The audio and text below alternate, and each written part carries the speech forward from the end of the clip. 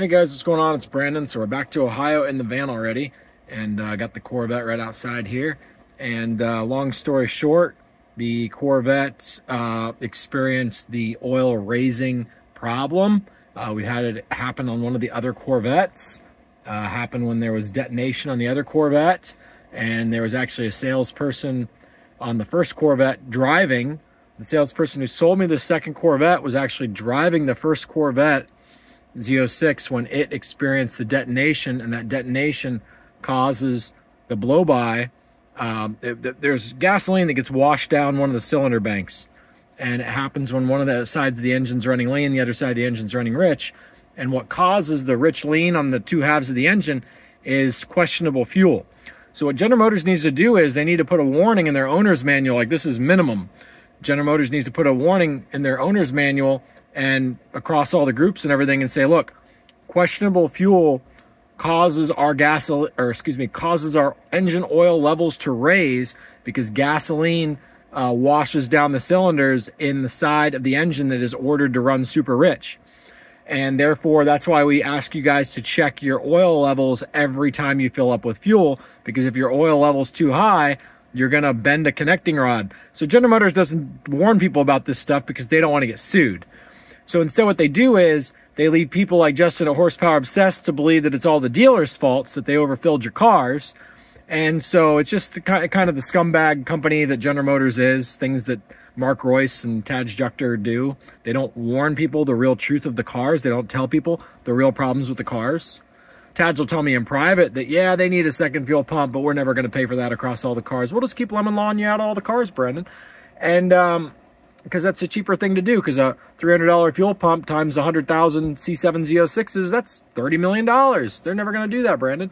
So the, the thing is, the C8 Z06, ironically, not only does the second in-tank fuel pump allow it to run more horsepower and avoid detonation that way, it also allows it to, excuse me, I just ate spinach, I got spinach in my throat. It also allows it to, um, to, uh, have a dedicated feed line from each low side pump up to each high side pump that you can monitor the pressure on each of those feed lines. That way, if either of the low side pumps fails, you instantly know about it. See, the moment that you splice your two low side pumps together into a single feed line, you don't know when one fails. There's no way to tell until you go to wide open throttle and experience detonation. However, if you run a dedicated feed line from each one up to the engine, or excuse me, up to each high side pump, then you know when one fails. And for those of you who say, well, Brandon, you're not very smart because that would also cause uh, the one side of the engine to run lean. Yes and no. On the high side rails, which are the really high pressure rails, what you do is you install, uh, what do you call it, uh, a crossover line between the two. So you have each low side pump doing its macro fuel pressure regulation because they do the macro fuel pressure regulation. A lot of you are very ignorant and you say, Brandon, the low side pumps can only vary between, uh, you know, 20 psi up to 70 or 80 psi. That's not macro. Yes, it is because that 20 to 70, 80 psi feed is what dictates the high side's resulting pressure. So if you only feed the high side 20 feed pressure, the high side doesn't even run 2000 psi. If you read if you feed the high side uh, the 80 or 70 or 80 psi, then the high side runs uh, close to 4,000 psi. So it changes the high side's pump performance by 2,000 psi depending on what you feed it from the low side pumps. So the low side pumps are the macro pressure controller. And the way that General Motors currently has the system set up, you have one macro controller trying to do macro things on two sides of an engine, which is impossible. So basically, one side of the engine's running lean, because of the, the weird fuel situation. The other side of the engine's running rich because of the weird fuel situation. There's water in there. The wide bands are saying, hey, I need to run more lean. The other side's saying, I need to run more rich. The side that says I need to run more rich always wins because you don't want to run lean. And the side that wants to run more rich is already running lean. So the system obeys. It runs more fuel pressure to run more rich on the on the lean side, and as a result, the side that was asking to be more lean does does not get its wish, and it ends up running extremely rich. And then that extra fuel washes down the cylinders, and that extra fuel goes into the crankcase.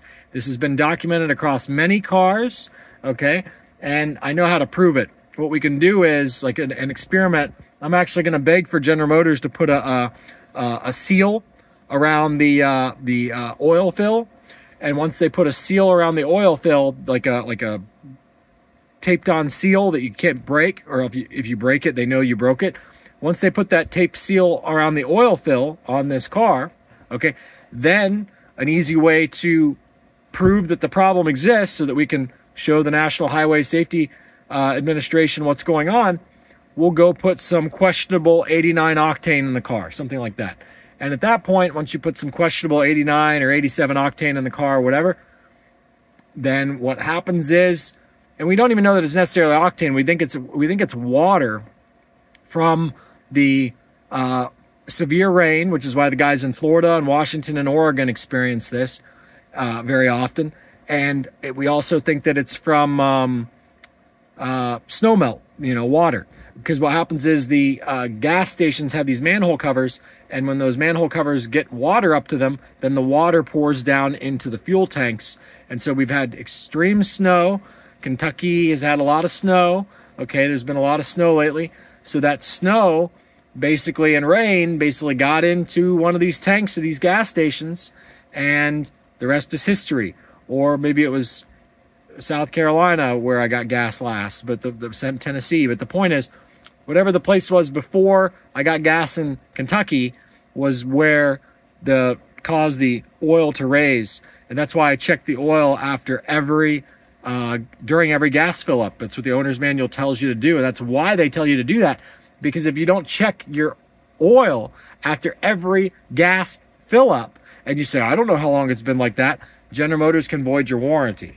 So Justin at Horsepower Obsessed doesn't report these things because he doesn't understand them. And since they're my idea and I'm teaching them, he doesn't want to look like he's second best because he has too big of an ego to say, hey, I learned something new from Brandon today. Instead, what he does is he says I'm wrong. And he says that the dealers overfill people's oil, which it's possible they do. But here's the thing, guys all the dealer has to do when they're done with the oil change is check the level to make sure it's right while the car is idling. And assuming it's right, when Justin and his followers, 100,000 Corvette followers of Justin at Horsepower Obsessed, then have their oil raised and they come back and they say, Look what happened. And the tech says, I, I checked it. It makes the tech look like a liar. And anybody who's ever owned a business before, you know that when you have liars who don't want to admit fault, you want to fire them. So this lie from General Motors, Tadge, and Mark Reuss, and Harlan, and Josh Holder, and Aaron Link, this lie that they're not willing to tell you guys the truth about this problem with their car, and they know it's a problem. They know it's a problem. I've had people on the inside say that they know. Uh, the video that's being uploaded before this one, which shows me going to the dealership, they say that their inside guys know everybody knows that this engine had a problem. But what people don't understand is, and that it was released prematurely, what they don't understand is that the premature releasal was intentional. They know it has a problem, and that's the goal. There's certain people at General Motors who know it has a problem, and there's other people at General Motors who are like, we got to fix it. And the people who know they want it to be a problem, they're like, okay, well, we're working on it they're not really working on it. They want the engines to fail out of warranty and they want their lawyers to protect them. And they didn't think that we were going to be smart enough to solve the problem and expose the problem. So, Justin, Horsepower Obsessed, Keith Cornett, John Elegant, these guys are masking the problem. Uh, even chat deletes groups posts when people talk about this stuff. They mask the problems. Uh, obviously, Clayton Smith is now masking. He's a masker of these problems because that's what I was trying to explain uh, these different things. And then I got Wendy Miller coming at me about uh, uh, uh, Grand Sport stuff, which, by the way, again, that she's about to be proven wrong. I mean, think about this for a second. Let's get back to this Wendy Miller topic. Not only does she tell Andrew Zurich that I'm wrong, and then Andrew Zurich bets me a thousand bucks as a result of her stupidity. So she's going to be in a box there. She's going to make an enemy with him because he's going to realize you have no clue what you're talking about. This Wendy Miller is a GM employee and she comes in the groups and wants to argue. Not only, okay, that, that's just the tip of the iceberg of the problems that she's about to encounter. Not only that, her credibility shot because in the group she makes fun of me in front of all these people. I get banned from the group because her and I get into it after she calls me the exorcist. I say, Are you so dumb not to understand that? Point three, okay, point three, why she's dumb, which was what I was trying to explain to her in the group, is she put up an admission that they know that I've been complaining about certain things on the car. She's a GM employee. She says she knows that they've been that they they're, they're well aware of my complaints and that they think that my complaints are hysterical and my complaints are a joke. Andrew Zurich also told me that. He says the people at General Motors think you're a joke. I said, not all the people at General Motors, Andrew, just the people that you know who don't know that the Grand Sport's coming. You know, low grade employees, Andrew. So Andrew's about to lose a thousand bucks because the Grand Sport is coming. Okay, it's it's coming. Um, and I promised Andrew I wasn't going to talk about it publicly, but he keeps coming on my wall and Get ready, get my thousand bucks ready, okay, Andrew? get, get, get your thousand bucks ready, dog. You get my thousand bucks ready. We'll see who has to give me. I mean, it's just, it's disgusting to me how dumb these people are. They, they don't understand. He doesn't get it that he's lost the bet yet. He honestly thinks that I would bet him a thousand dollars unless I, that without knowing if the Grand Sport's coming or not. So anyhow, um, the two fuel pumps allow for two separate macro controls of the high side pumps. And then after the high side pumps, you have a crossover line which equalizes pressure on both sides, assuming that you're, what do you call it? Uh, uh, your, uh, oh, shit. Assuming that your um, injectors are all the same all the way around, there shouldn't be any problem with that design. Or you just have it where anytime your low side pump uh, pressure on the low side line isn't adequate at startup, car goes into limp mode, and it basically just says you need to put your ass to a dealership because you don't have any fuel pressure.